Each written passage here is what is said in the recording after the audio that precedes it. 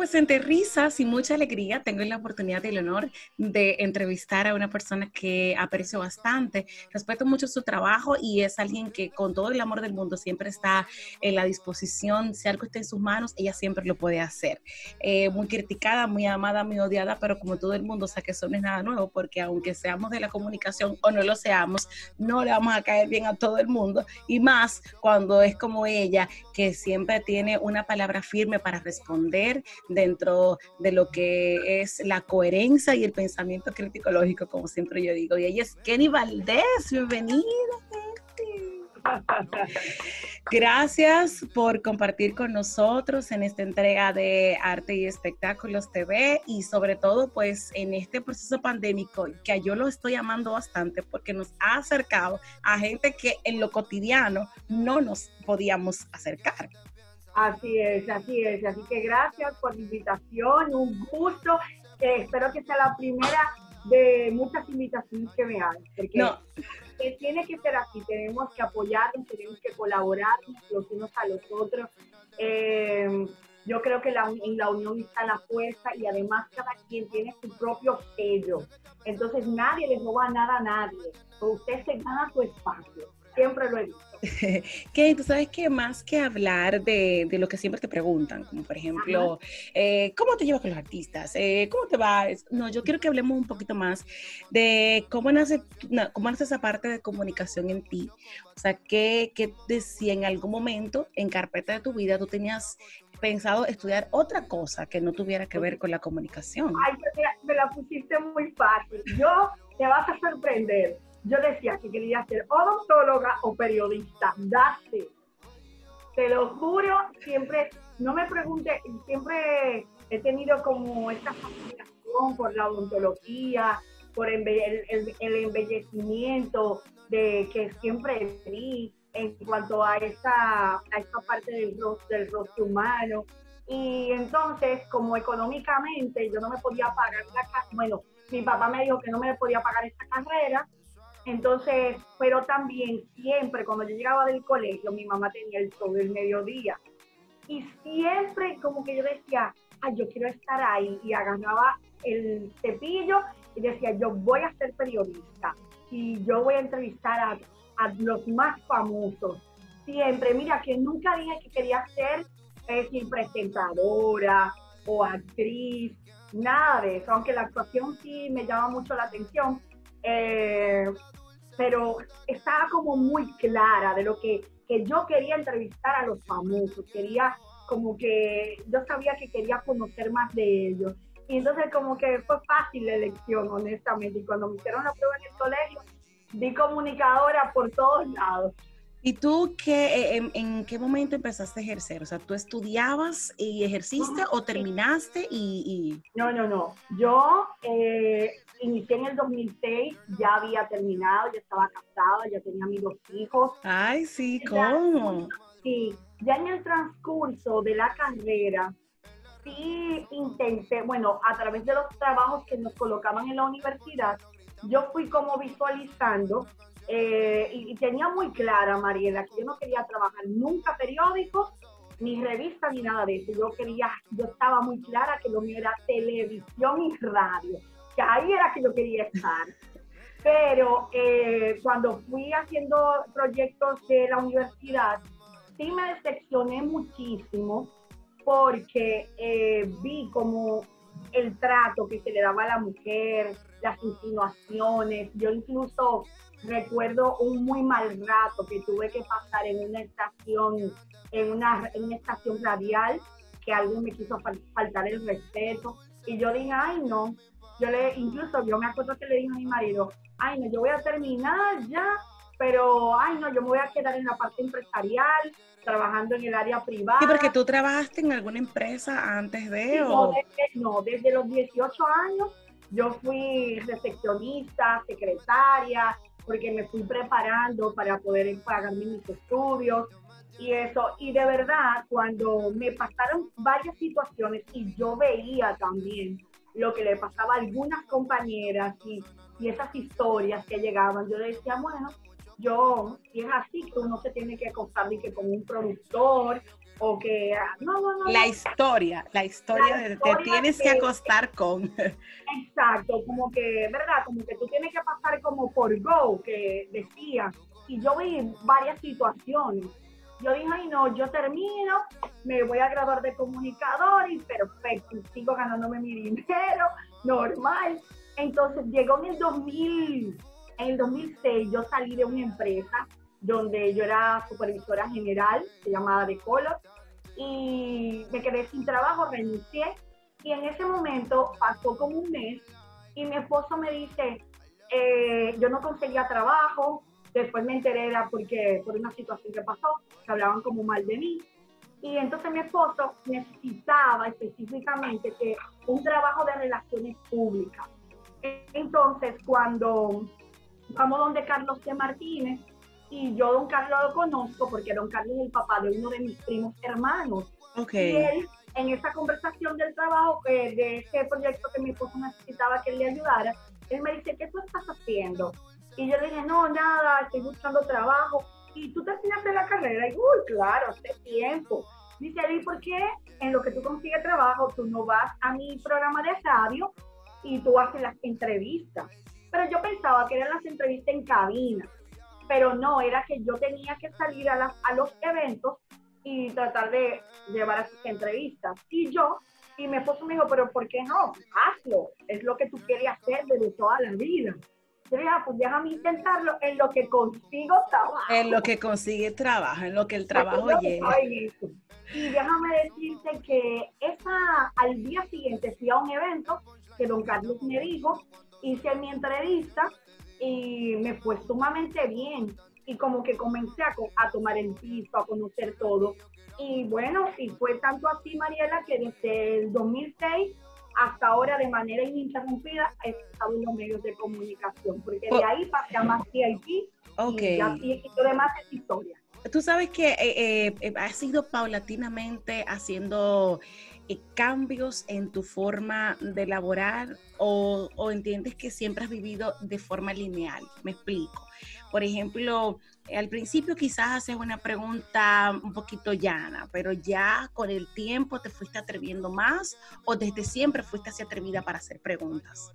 No, siempre fui atrevida, pero no sabía que tenía ese potencial, que ¿Tú sabes por qué? Porque quien me hizo ver que yo tenía ese potencial de que yo sacaba eh, una buena entrevista, sacaba primicia, que era guerrida, me lo hizo ver eh, Ramón Almanzara, que le agradezco inmensamente, porque él escuchaba todos los días desde el listín diario, él escuchaba, o de camino al listín, escuchaba mis entrevistas en una actividad, él me aborda, me dice, ay, yo te quería conocer, me explica, yo no tenía ni idea que existía esta plataforma de Más VIP y a partir de él me dice, no, es que escríbemela, que yo le doy forma, porque tú, tú sacas noticias siempre.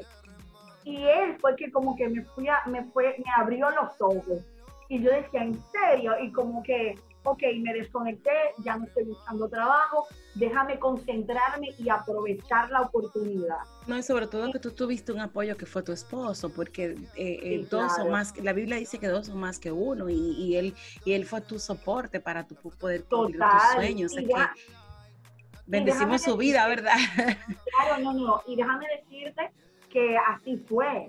Y yo incluso le digo a él, y yo se lo reitero, el día que me gane un premio Emmy, que es como que el premio que uno más quiere, eh, porque siempre he soñado con irme, con estar en la parte internacional. Yo le digo a él, donde si tú y yo no llegamos a separar, o no, lo que sea, yo le decía a él, este premio y, y, lo que yo soy, te lo debo a él, porque fue él que me empujó, me dijo, eso es lo que tú quieres hacer, eso es lo que vamos a hacer, el que me corrige, el que me dice, no, no estuvo bien, tienes que leer más, me decía, haz esto, qué bien, sí, así, tú sabes, como impulsándome. No pasa por muchas situaciones, pero ese apoyo de que uno esté en esta carrera, yo definitivamente le corresponde a mi marido. Yo sé que tú estuviste en el escándalo, tuviste ah, mucho tiempo en el escándalo, sí, pero años. sí, pero hubo una parte, recuerdo vagamente, que tú creaste algo personal. Ah, recuerdo que, No, pero eso fue mucho después de, del escándalo que yo sí. hice, arte. Qué arte. con K, que era con K. Sí, y tengo para contarte que la semana que viene ya espero que esté arriba nuevamente en mi portal. Eh, ya tiene un diseño. Tengo realmente, eh, desde enero pasado, diciembre más o menos, recuerdo que tuve una conversación con José Peguero y José me dijo, oye, tienes que subir nuevamente tu portal, no debiste dejarlo, no debiste quitarlo. Y yo le dije, sí, José, pero las circunstancias, hay, hay, muchas veces hay situaciones que las circunstancias, tú sabes, uno dice, bueno, me tengo que quitar, ahora no puedo, pero... Sí, porque Hay, hay, hay, cosas que Dios nos da para en un momento uno eh, pausarlas, pero no para quitarlas. Total, y te voy a decir una cosa, y y aunque mucha gente hoy sabemos que las redes sociales es el gran potencial de este momento y donde la gente está apostando incluso a una mayor cantidad de publicidad y eso, yo digo que todo tiene su tiempo.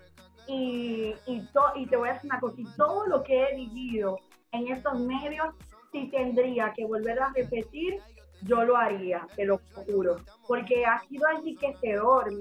He recibido, como todos, traiciones, puñaladas, decepciones, desencanto, he llorado, pero Dios tiene un propósito, pero el mayor propósito es que yo siento pasión por lo que hago. Claro, claro. Y tengo disciplina con esto. Y entonces, mientras yo la tenga, aquí voy a estar y, y por eso yo no tengo miedo cuando nos preguntan, eh, ¿tú no le tienes miedo a las redes sociales, eh, a la gente nueva que llega? No, cada quien tiene que labrar su camino, cada quien tiene su sello de identidad, Mariela. Sí, tú sabes que entonces eh, estás en la tuerca, porque para hacer una recapitulación o un F5, tú empezaste como talento en la tuerca y posteriormente pues pasaste a ser ya pues propietaria, como diríamos. Ha sido enriquecedor. Eh, yo estoy muy agradecida de todo el equipo de Telefuturo. Ha pasado ya por dos administraciones y he estado ahí, pero vuelvo y te reitero, estoy ahí por el trabajo que hago, es decir, aunque yo no, antes estaba como talento, pero yo no lo veía así. Yo me preocupaba de, de todo, de producir, de estar en la calle, de buscar mis primicias, de que el contenido sea refrescante, eh, desde cuando tenía compañeros también, yo nunca he tenido miedo de nada, yo creo que la gente esto lo percibe y en el canal también perciben ese, ese esfuerzo que siempre eh, hice, que cuando tuve que asumirlo como propietaria, eh, lo eh, para mí lo único que cambió es que yo, es que yo estoy pagándole una cuota al canal. claro. Pero no era lo mismo. Era lo mismo, ¿entiendes? Entonces, eh, estoy muy contenta.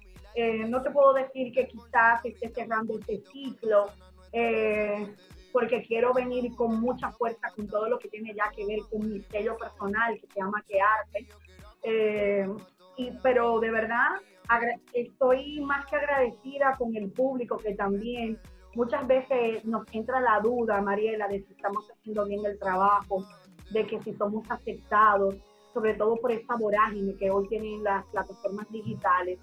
Y te puedo decir que ha valido la pena porque cuando la gente se encuentra con en la calle, los artistas también eh, de gran valía para uno, gente de mucho peso, te dice gracias, lo, lo estás haciendo bien, me gusta tu trabajo, siga de esa manera profesional, pues yo creo que es el mejor pago que uno puede recibir eh, como profesional y, sobre todo de una carrera tan difícil como esta que es el periodismo. Sí, o bueno, la comunicación en general, diría yo.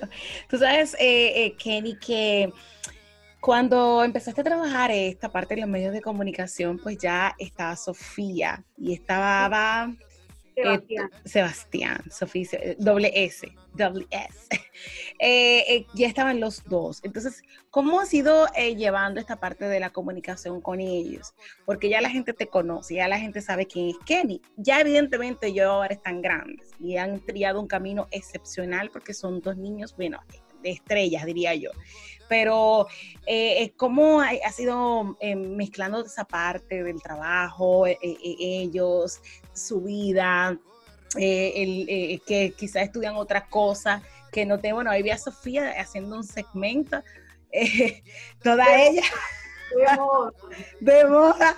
Pero sí, es como, cómo hiciste, cómo has hecho esta mezcla, cómo te has sentido y, eso de, porque sabes que a veces el que es periodista hacemos lo que hacemos cuando estamos solteros, no tenemos hijos como que, ¿verdad? Pero ya en tu caso es diferente.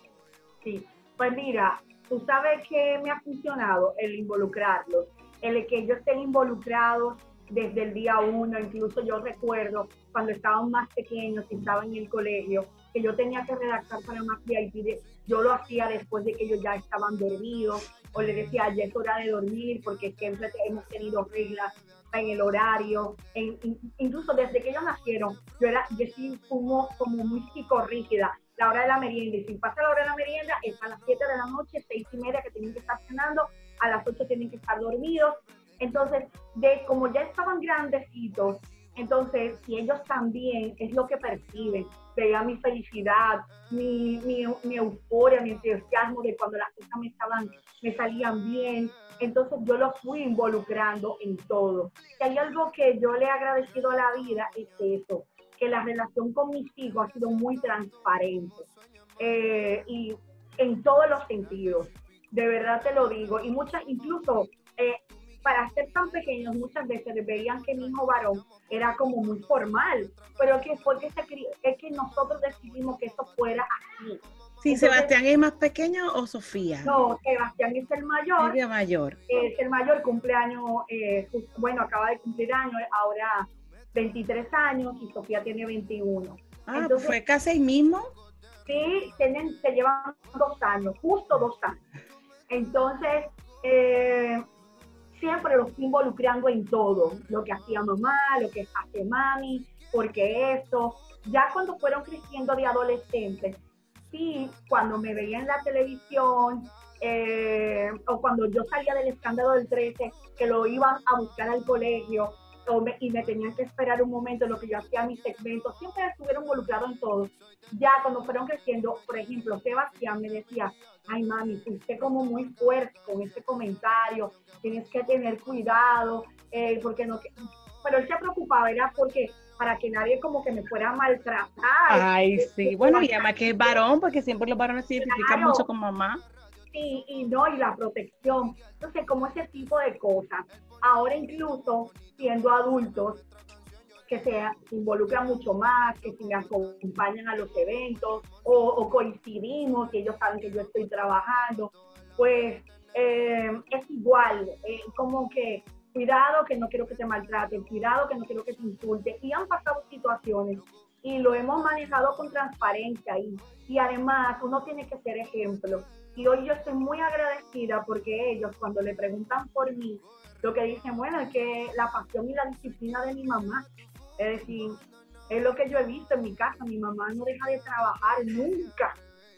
Sí, tú sabes que eh, el, la oportunidad de que ellos eh, te vean y vean esa disciplina los forma a ellos también porque han tenido, han visto eso, porque los hijos son ese reflejo de, de, de, los padres, de lo que hacen los padres en su, en su mayoría, aunque ellos pueden elegir luego pues hacerlo diferente, pero sí esa parte de, del amor, de, tú sabes, de, de, ver cómo trabaja, pues los forma a ellos también. Kenny, tú sabes que estás en Caribbean Cinemas en, ese proyecto? Estaba. Estabas, ok. Estaba porque ellos decidieron a raíz de que, bueno, de la pandemia, pues cerrar el canal. Un proyecto hermosísimo donde duré dos años, eh, muy enriquecedor. De verdad, el Caribe TV yo tengo una relación eh, no, desde, desde, muchísimo tiempo, eh, recuerdo. porque primero fueron siguen siendo patrocinadores, pero también la relación con la marca. Eh, de verdad que yo muy agradecida de haber estado ahí. Espero que yo le dije a Sumaya y a Ana, en lo que necesite estoy aquí, lo que vayan a necesitar, porque están pasando todo el contenido en YouTube, pues lo haría encantadísima porque es una empresa en la cual también he crecido, en la cual también es difícil encontrar patrocinadores que crean en uno como talento y como profesional. Y yo, eh, ojalá que en algún momento eh, surja de nuevo a Caribbean TV y yo te voy a hacer una cosa me voy para Caribe en TV otra Claro, ¿no? Y sobre todo, que, sí, no, y sobre todo que eh, la vida es ciclos y, lo que no se puede, pues no, no, no hay que alterarlo. es un negocio, que la gente no quiere entender que es un negocio y ya no era negocio para la empresa. Oye, agradecido de que los ciclos se viven y ya, y se cierra una página y construye y vas escribiendo la otra, Mariela. Sí, eh, Kenny, eh, que aparte de que arte, este año pues va un poco complicado, diríamos, por el tema de la pandemia, pero para nosotros que eh, nos ha ayudado mucho la tecnología, igual que a los artistas, a los artistas le, ha, o sea, para mí los artistas han tenido en el tema en este tiempo una gran apertura porque han podido presentar más su música, han tenido más conexión con la gente. Yo creo que a ellos han sido los que más le ha beneficiado, diría yo. Por supuesto, incluso eh, te puedo decir que yo ya perdí hasta la cuenta porque desde la segunda semana que inició el COVID-19, era increíble. Un día sí, un día no. Había estrenos, estrenos, estrenos, estrenos, lanzamientos. Sí. Eh, todavía en este tiempo está, hay artistas que están lanzando temas, grabando. Yo creo que la música ha sido nuestro gran aliado, nuestro gran aliciente en todas sus vertientes, en todos los géneros. Puede ser música urbana, cristiana, pop, balada, es reggaetón, en todas, Mariela, definitivamente la música para mí ha sido mi, gran fortaleza en estos momentos que alguna vez uno se sienta agobiado de estar 24 horas en espacios pequeños dentro de tu hogar. Sí, mira, bueno, pues ya por el tiempo tenemos que terminar la entrevista, pero me encantaría que le dijeras a la gente dónde te puede contactar, dónde puede seguirte y bueno, y abrazar todo tu contenido. Mira, gracias primero eh, por la entrevista, por darme un tiempo de tu espacio, a la gente que me puede seguir en todas mis plataformas digitales, como Kenny Valdés L, ahí me van a ver en todo, y hasta con mi canal de YouTube que vengo dura y curvera. Ay, sí. Creo que esto es, de reinventarnos y aquí también te, incentivo y te motivo a que hagas el tuyo. Eh, sí, teniendo la conciencia que todo es un proceso, pero se puede. Y nada, eh, feliz de que ustedes me puedan seguir ya. Queartes.com. Sí, con K, con K, ¿verdad? Así como suena, con cada kilómetro. Queartes.com, ahí tiene un espacio también, Mariela, en lo que necesites y creo que eh, este tiempo es no solamente de reinventarnos, sino también de buscar la alternativa como profesionales, de dar un poco más. Siempre se puede. Bueno, pues Kenny, muchas gracias y a ustedes continuamos con mucho más de arte y espectáculos TV.